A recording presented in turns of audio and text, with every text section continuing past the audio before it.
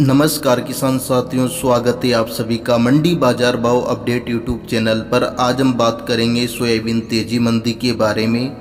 नवंबर, दिसंबर में हमें सोयाबीन का रेट क्या देखने को मिल सकता है और आगे आने वाले समय में सोयाबीन के भाव में कितनी तेज़ी मंदी रहने की संभावनाएँ हैं, सबके बारे में चर्चा करेंगे। आप वीडियो को आखिरी तक ज़रूर देखना। अगर आपको जानकारी पसंद आए तो आप चैनल को सब्सक्राइब ज़रूर कर लीजिएगा और इस वीडियो को लाइक कर दीजिएगा। तो किसान भाइयों, सोयाबीन एक महत्वपूर्ण कृषि उत्पाद है, जिसका उपयोग मुख्य रूप से तेल और पशु आहार के उत्पादन में किया जाता है, जैसा कि आप सभी को पता है। भारत में सोयाबीन का उत्पादन खास तौर पर महाराष्ट्र, मध्य प्रदेश और राजस्थान जैसे राज्यों में किया जाता है। यह फ़सल भारतीय कृषि अर्थव्यवस्था में महत्वपूर्ण भूमिका निभाती है, क्योंकि इससे न सिर्फ़ किसानों को आमदनी होती है, बल्कि देश के तेल उद्योग को भी कच्चा माल इससे प्राप्त होता है। वैश्विक स्तर पर भी सोयाबीन की बड़ी डिमांड बनी हुई है, जिसके कारण इसकी कीमतों में उतार चढ़ाव अक्सर हमें देखने को मिलता है। सोयाबीन की कीमतें, घरेलू उत्पादन वैश्विक आपूर्ति, मौसम की स्थितियों और बाज़ार की मांग के आधार पर ही प्रभावित होती है। वहीं आपको बता दें, समय में सोयाबीन के बाज़ार में कुछ महत्वपूर्ण बदलाव भी देखने को मिले हैं। बाज़ार में आवक बढ़ रही है, लेकिन वैश्विक आपूर्ति को लेकर अनिश्चितता बनी हुई है। साथ ही भारत में त्योहारी सीज़न के चलते मांग भी बढ़ रही है। जिससे बाज़ार में स्थिरता देखी जा रही है। इस रिपोर्ट में हम विस्तार से चर्चा करेंगे कि सोयाबीन की मौजूदा कीमतों पर क्या प्रभाव पड़ रहा है और क्या कारण है भविष्य में, क्या संभावनाएँ हमें देखने को मिल सकती है। तो किसान भाइयों, सोयाबीन की कीमतों में हाल ही में दबाव देखा जा रहा है। इसका प्रमुख कारण घरेलू बाज़ार में आवक का बढ़ना है। वर्तमान में सोयाबीन की आवक हमें सत्तर से पिचहत्तर लाख बोरी तक पहुँची हुई मंडियों में देखने को मिली है। इसके बावजूद सोयाबीन की कीमतों में तेज़ी हमें देखने को नहीं मिली। हालाँकि प्लांटों में क्रेसिंग के लिए पर्याप्त स्टॉक नहीं है, जिससे कुछ इलाकों में कीमतों में हल्की तेज़ी हमें देखने को मिली है। महाराष्ट्र में कीर्ति प्लांट में सोयाबीन की कीमत छियालीस सौ साठ रुपये प्रति क्विंटल तक हमें देखने को मिली है। किसान साथियों, सोयाबीन की वैश्विक आपूर्ति को लेकर कुछ संदेह बना हुआ है। विशेष रूप से मध्य पूर्व में चल रहे तनाव की वजह से वैश्विक बाजारों पर इसका प्रभाव हमें देखने को मिला है। हालाँकि घरेलू फ़सल की अच्छी आवक के कारण भारतीय बाज़ार में इसका प्रभाव उतना हमें देखने को नहीं मिला है। इस समय सोयाबीन की कीमतों में कोई बड़ी तेज़ी नहीं देखी जा रही है। सोयाबीन सोया तेल की कीमतों में भी हलचल हमें थोड़ी बहुत ही देखने को मिली है। नीमच प्लांट में सोया तेल की कीमत बारह सौ पंद्रह रुपये प्रति दस किलो। पिछले एक हफ़्ता में बाज़ार में पाँच से दस रुपये की हमें मामूली सी तेज़ी यहाँ पर देखने को मिली है। किसान भाइयों, मौजूदा समय में नवरात्रि जैसा कि आज दशहरा है। और इसके बाद में दशहरा का जो मेला है, वो शुरू हो जाएगा। उसके बाद में दीपावली का त्यौहार जो हिंदू धर्म का सबसे बड़ा त्यौहार है, वो आपको देखने को मिलेगा। तो वहाँ तक हमें सोयाबीन का मार्केट और क्या देखने को मिल सकता है? तो त्योहारी सीज़न आने से बाज़ार में सोया तेल की मांग बनी हुई है।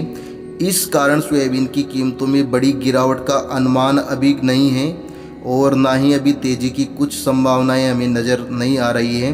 हालाँकि घरेलू आवक का बढ़ना कीमतों पर दबाव बनाए हुए हैं। इसके बावजूद त्योहारी मांग के चलते बाज़ार में स्थिरता बनी रहेगी। त्योहारों के दौरान डिमांड में इजाफा देखा जा रहा है, जिससे बाज़ार में अच्छी तेज़ी की उम्मीद है। किसान साथियों, सोयाबीन के आज के ताज़ा भाव की बात करें या वर्तमान में जो भाव हमें देखने को मिल रहे हैं मंडियों में उनकी बात करें तो छियालीस सौ पचास रुपये से सैंतालीस सौ रुपये प्रति क्विंटल के बीच में ही ज़्यादातर देखने को मिल रहे हैं। लातूर के अरन प्लांट की कीमत की बात करें तो छियालीस सौ तीस रुपये से और सैंतालीस सौ रुपये प्रति क्विंटल तक देखने को मिल रहे हैं। धनराज प्लांट की बात करें तो सैंतालीस सौ रुपये, सोलवेट प्लांट पिचासी अस्सी रुपये। वहीं बात करें विज प्लांट छियालीस सौ पचास रुपये और सिद्ध रामेश्वर प्लांट में छियालीस सौ रुपये प्रति क्विंटल के आसपास हमें सोयाबीन के दाम देखने को मिल रहे हैं। दोस्तों, सोया तेल के भाव की भी फ़िलहाल फिर से थोड़ी बहुत हमें तेज़ी देखने को मिली है। साप्ताहिक रिपोर्ट के अनुसार सोया तेल के भाव में पाँच से दस रुपये प्रति किलो के हिसाब से हमें तेज़ी देखने को मिली है। अगर सोया तेल के ताज़ा भाव की बात की जाए तो डीसन प्लांट में बारह सौ अस्सी रुपये प्रति दस किलो, नाज प्लांट में बारह सौ सत्तर रुपये प्रति दस किलो। वहीं बात करें तो एंग्रो प्लांट में बारह रुपये प्रति दस किलो के हिसाब से हमें सोया तेल का दाम देखने को मिल रहा है। वहीं बात करें मध्य प्रदेश की बात की जाए तो मध्य प्रदेश के प्रमुख प्लांट्स की कीमतों की स्थिरता बनी हुई है। प्रकाश और और प्रेस्टीज प्लांट में सोयाबीन की कीमत छियालीस सौ पचास रुपये प्रति क्विंटल है, जबकि महेश प्लांट में छियालीस सौ पच्चीस रुपये प्रति क्विंटल की दर देखी जा रही है। इसके अलावा सोया ऑयल की कीमतों में भी उतार चढ़ाव देखा जा रहा है।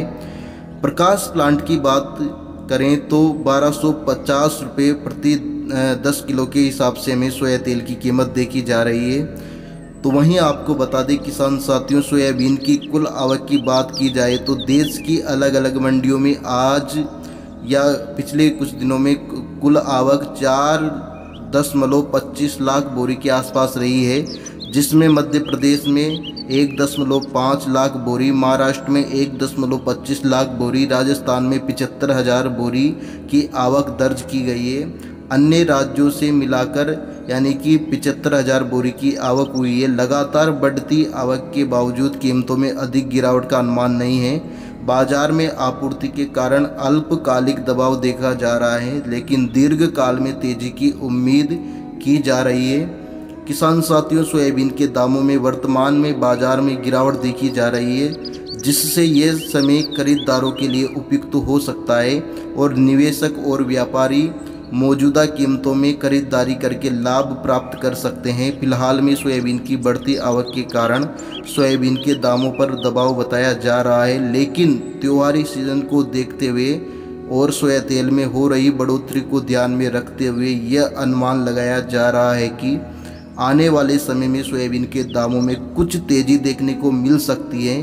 सोयाबीन के दामों में बढ़ोतरी न होने के कारण किसानों में हो रहे लगातार आक्रोश का भी सरकार पर भारी दबाव बना हुआ है, जिसकी वजह से सरकार सोयाबीन की खरीद पर कुछ महत्वपूर्ण फैसला ले सकती है। इसलिए दीर्घकालिक दृष्टि में बाज़ार में तेज़ी का अनुमान है। किसान भाइयों को सलाह दी जाती है कि वो व्यापार अपने रिस्क पर करें, क्योंकि बाज़ार के भाव में परिस्थितियाँ बदलने पर किसी भी समय उतार चढ़ाव हमें देखने को मिल सकता है। ये थी किसान साथियों, एक छोटी सी जानकारी। अगर आपको ये जानकारी पसंद आई हो तो आप हमारे चैनल को सब्सक्राइब करें, वीडियो को